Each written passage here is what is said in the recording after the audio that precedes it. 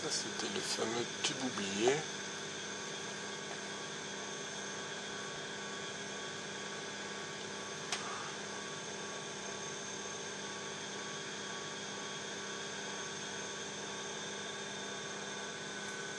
Très beau reflet.